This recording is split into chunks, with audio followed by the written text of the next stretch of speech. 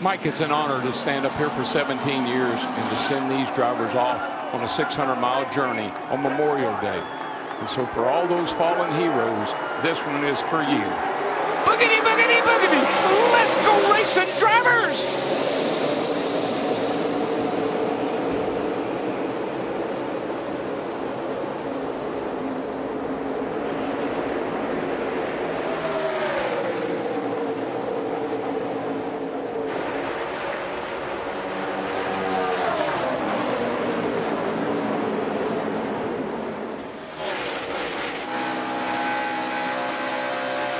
who will lead lap one. Kyle Busch from the high side, Harvick on the bottom. Dead heat. Dead heat. that was. I never saw that. I think. Nope. Scoring says Harvick by two one hundredths of a second. You know, we heard Martin Truex Jr. talk about how it was a little bit greasy in that compound traction uh, that they put out there and uh, the traction compound. But we saw some drivers like the 18 of Kyle Busch really stuff it to the outside there, and it stuck. Yeah, Jeff, I have not seen an issue. I thought we'd see cars getting in that stuff early on, slipping and sliding. But right now, it looks like there's a ton of grip in that high groove. Jeffrey Earnhardt down on the apron past the start finish line. A lot of smoke. And we were told it smelled like rear end grease. Oh, Caution. Oh, trouble. There's oil everywhere. I think there's oil from the 33 man, it took and out some good cars. Brad Keselowski's car is destroyed. Chase Elliott. And Chase Elliott. What a what started out to be a routine caution for fluid on the track. Oh heavy damage I'm Chase pretty sure Elliott's that's car. oil from that 33 car because those cars be. just went crazy. Had to be. There had been some smoke from oh, Earnhardt's yeah, car, it but then there. it got big. Okay, so that's off of turn four. He comes all the way down the front straightaway. Now the wreck's already happened. Oh, I. Oh, oh no, gosh. something happened to uh, Chase Elliott. He may have blown up. There was huge fire underneath the hood of that car. I That's think the a, oil may have wow. come from the 24, or uh, certainly we know that there was fire and fluid underneath the 24. Wow, I'm not sure what happened. Look, Look at all at, the fire. Look under here. Oh man, that thing grenaded. Boy. Unbelievable.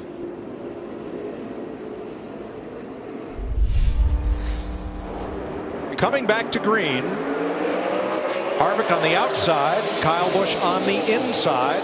Blaney and Kenseth in row two.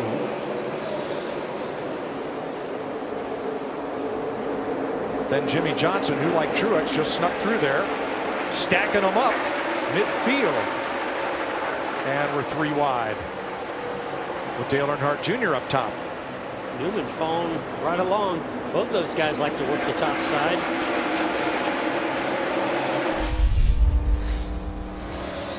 Ricky Stenhouse has already been in for four good years and a tank of Sunoco race fuel. Here comes Martin Truex and more. Onto pit road as Kyle Busch goes for the lead and is not quite. Man, what a battle Man. between these guys. Kevin does not want to give this lead up.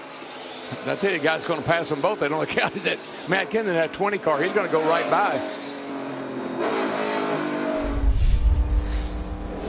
Kyle Busch in turn three with a 1.2 second lead on Martin Truex coming around turn number four and Kyle Busch will be the winner of stage one. The first time the Coca-Cola 600 has been contested in stages.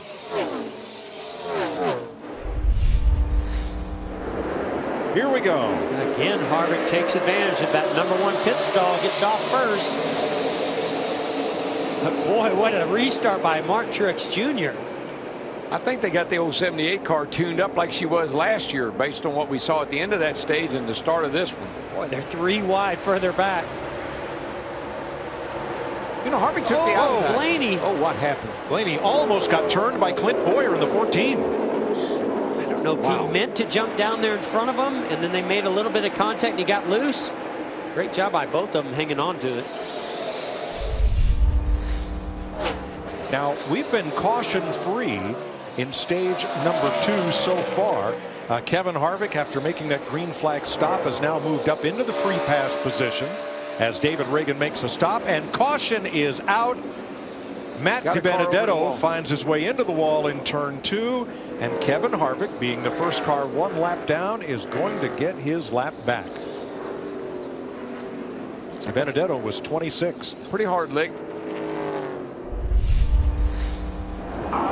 There'll be 47 laps to go in stage two. Green flag. There goes Truex. Well, I believe the 48 could if he could keep up with him on a restart. that was a great restart by Martin Truex. Man, he got a huge lead. We know that that outside groove is a little bit harder to get traction with the rear tires, but Martin Truex Jr., it's like he's got another gears. Look, Kyle Busch going three wide. Right down to the bottom. First lap.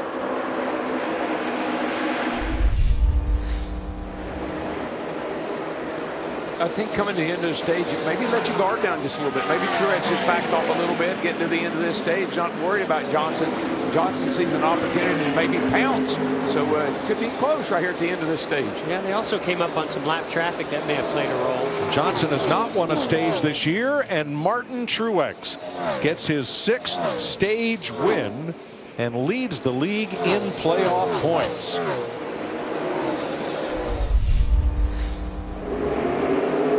Coming to green, stage three, and look at Truex go. Johnson got, he did not get going at all.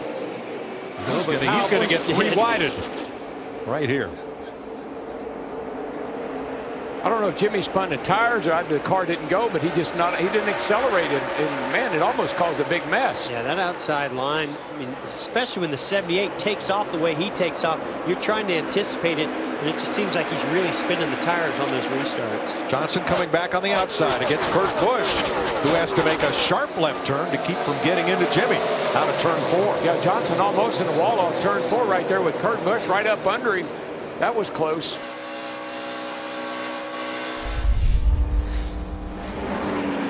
Uh-oh. Kyle Larson in the wall, turn two. I think This that might, right, front. might do it for him. Well, that right front tire, I know when he hit the wall earlier, it had a bunch of camber in there, and I think it probably just finally got to that tire. It's going to destroy that car. Now the stage will end in eight laps. NASCAR has said if they can get the track cleared and the cars lined up to run even one lap under green before stage end, they'll do it. The leader, Stenhouse, will restart this race. He's on the pedal, flags in the air. Whoa. That's definitely going to hurt Martin Truex Jr. I, I mean, I know Stenhouse didn't get a good start as uh, also, but boy, that really held up Martin Truex with some of the restarts we've seen him getting recently. Teammates. One, two, three for Joe Gibbs Racing. Hamlin, Kyle Busch, and Kenseth were on the last lap of stage three. And then two more teammates, the 78 and 77. So five Toyotas in the top five right here, racing for the winner of this stage.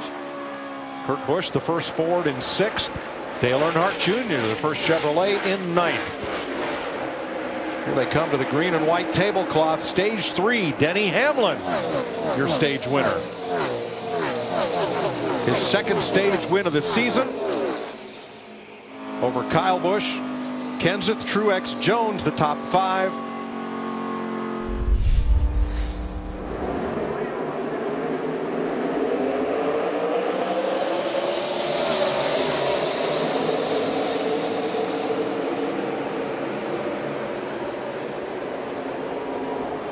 Three wide. Whoa, Denny Hamlin man. getting really loose. Truex made a great move to get around Hamlin just before he slid up the hill. It would, almost came together. That thing is a restart rocket ship. Yes, it is. We're about to find out just how good Martin Truex Jr. is. If he can go up there and get by the 18 of Kyle Busch, I will be impressed.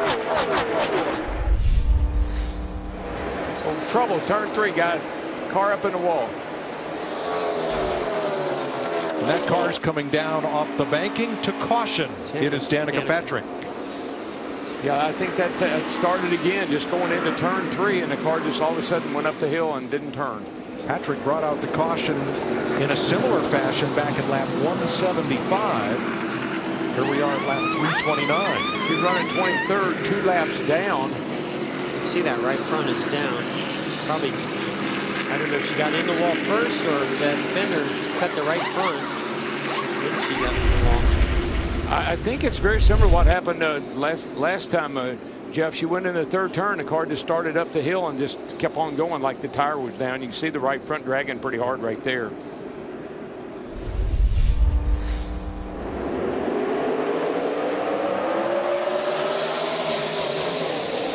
Man, look at them just take off. Yeah, those two cars field. have just, I mean, Jeff, all night long, they have had the best restarts.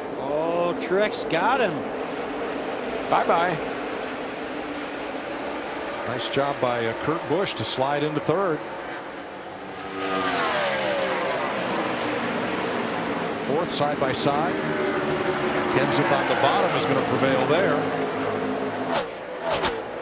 Boy, I'll tell you what, that 41 car of Kurt Busch, he's all over the back of his brother right here now trying to get by. I noticed this on the last restart. He's really good for about four or five laps. Drives really hard into the corners, can, can stay with cars, but he does start to fade after a few laps. 20 laps to go in Charlotte. 30 miles out of 600 left to race. Jimmie Johnson up three and a half seconds on Austin Dillon, who with Joey Logano, Ryan Newman, and Chris Buescher trying to not stop and stretch the fuel mileage, but for different reasons. Johnson has wins in the bank. Nothing to lose. He's not the fastest car tonight. So if they made that pit stop at lap 368 with everybody else, he likely wouldn't win. Now he's got a chance. Austin Dillon's never won a cup race. He stayed out trying to win his first one.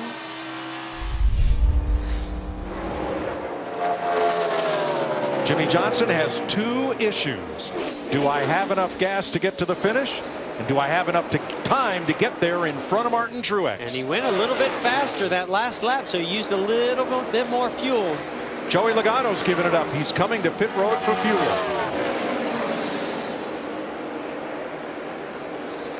So that leaves Johnson and Dillon in first and second, Newman in seventh, Menard in 12th of the drivers who did not stop at lap 368. I mean, if you're Johnson, you say, hey, if I win, great. If I don't, I've got to win. So I'm in good. He, he wins. It's a win-win for him.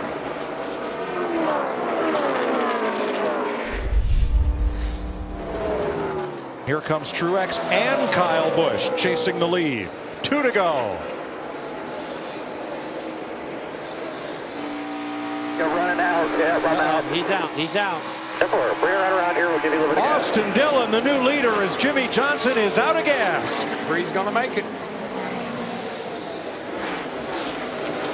Richard Childress's grandson trying to return the three to NASCAR victory lane. I'm here in the white There line. you go. Nice One to flag. go. Tell you what, if he can just make it, if he can make it to turn three and four, he can Now coast. Kyle Busch just went to the outside of the 78 to take over second place. If the Ooh, three yeah. runs out of fuel, he'll be the winner.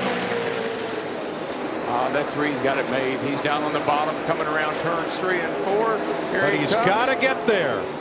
On fumes, Austin Dillon wins at Charlotte for Richard Childress Racing, Dow and Chevrolet.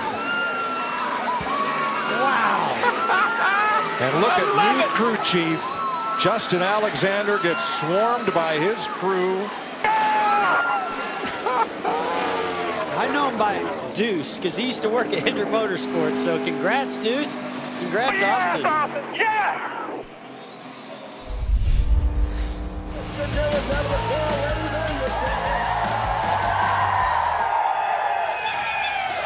I can't imagine victory being any sweeter than this one tonight. The three is back in victory lane, your first cup win. How do you describe the emotions, Austin, with this win tonight? It hadn't sunk in, man. Uh, I can't believe it. I, I was just really focused those last laps, and my fiance wrote in the car, uh, "When you keep God in first place, He will take you places you never imagined." And uh, never imagined to be here at Coke 600 Victory Lane, and I'm just uh, praise the Lord and all these guys that work so hard. My pit crew is the best on pit road, and I just I love it for them. We're in the chase, baby. It's awesome.